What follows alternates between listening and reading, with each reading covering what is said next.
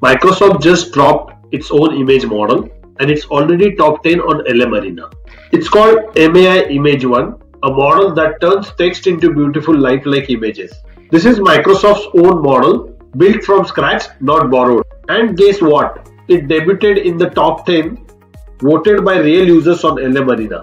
It's fast, photoreal, style rich, and safety focused, perfect for creators. It trained for real work, not just flashy demos. It's coming to Copilot experiences, Think Designer, PowerPoint, and Teams background. You can create marketing visuals, app mockups, slides, or quick icons all in seconds.